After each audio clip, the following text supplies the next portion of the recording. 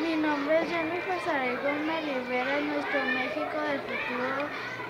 que la gente tenga más conciencia y que no gaste tanta luz, que salga de la casa para hacer más ejercicio, para que no gasten tanta luz.